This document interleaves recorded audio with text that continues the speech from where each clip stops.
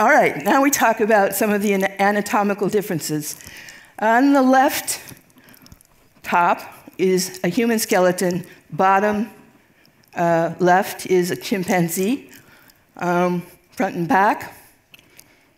If you look at the uh, top right, that's a fossil skeleton called Homo erectus, first in the Homo line that we came from.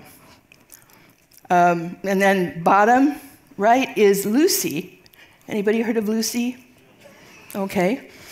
Now, if you had to evolve from Lucy to Homo erectus, how many changes would you need?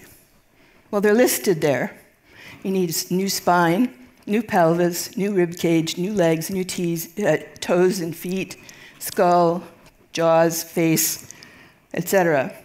Um, a group, Bramble and Lieberman from Harvard University, did a study of how many physical changes would be necessary to evolve the ability to run from Lucy to Homo erectus.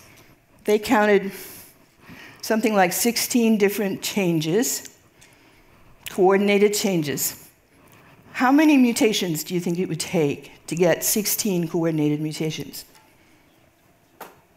Anybody? Well, more than 16, right?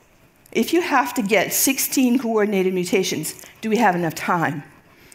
A paper by Durrett and Schmidt from Cornell, um, they calculated how long you'd have to wait to get one mutation from a human lineage.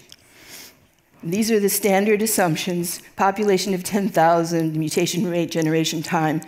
It would take six million years to get a specific mutation in a DNA binding site. How long did it take for us supposedly to evolve from chimps? Six million years. So that's a problem.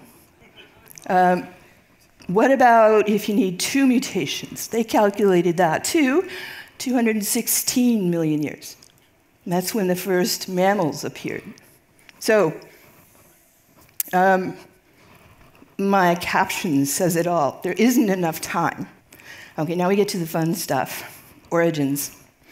When, about 2011, I got an email from a philosopher. And this philosopher asked me, how strong is the evidence against Adam? And I said, I don't know. I haven't thought about it. If Darwinism is wrong, who cares? But I'll go look. So it started me on this journey so that I'm standing here in front of you today.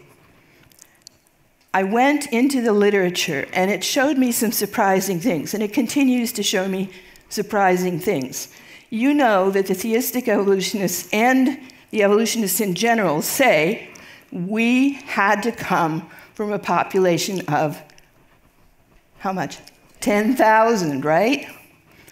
From 6 million years to the present, 10,000. Never a bottleneck of two.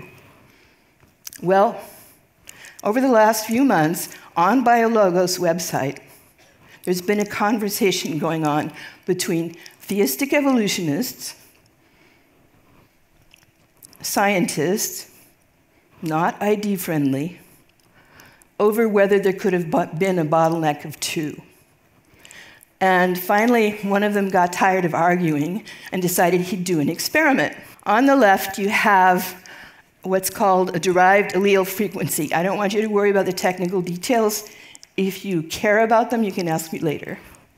Um, but what you have represented there is the data from um, the Thousand Genome Project, and it's got a characteristic curve.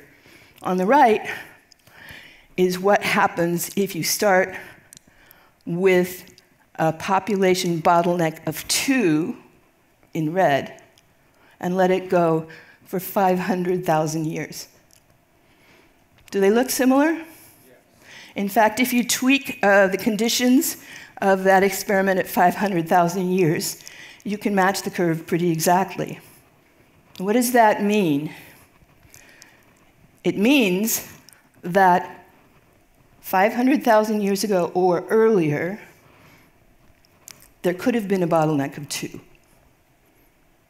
Now, another scientist said, Wow, I'm going to go test that myself. And he went and used another equation, another program. He ran it. And guess what result he got? 500,000 years. And he said, okay, wait, now this can't be right. So there's this other thing called transspecies polymorphism. Big name. I'll call it TSP for short. What it means is, theoretically, if we came by common descent from a common ancestor at the top, and we shared genes, and as time went on, we diverged from one another, so we are represented down at the bottom orangutans, gorillas, chimps of two kinds, and us. Now, can you see how there's some branching going on so that all these species are inheriting some genes in common? That's called transspecies polymorphism. So that would mean that some of these species, say gorilla and chimp and homo, all share the genes in red, called the MHC complex, or HLA, as I refer to it, stands for human leukocyte antigen. It's part of the immune system. Present in all these species. Is it by common descent, or is there another explanation? Could there be another explanation? Sure. What if there's selection driving all of these genes to have similar sequences? Then they would look alike too. Here's what he found out he, he used a program that identifies where there is convergent evolution in the genome. He found out that the similarity between uh, these genes appears to be due to convergent evolution. It was such a striking signal that he, he said, It's stunning. It's amazing. I asked him about it. He said, I'm surprised. To sum it all up, it's very simple. A bottleneck of two or a first pair that's older than 500,000 years is possible. Does that mean it had to be 500,000 years ago? Not necessarily. My group is working on a model that doesn't involve evolutionary assumptions, and we are going to be testing different scenarios and seeing if we can demonstrate there could have been a bottleneck or a first pair at a younger age. This is based on the analysis run by two non ID scientists. It's not me saying it, it's them. Future models may change it, and TSP uh, verifies it. This whole debate has been a surprise to many people. So, to summarize, we are more than our bodies, we are more than our brains, we are more than our genetic code, we are much more than souped up apes. We could have come from two. Thank you very much.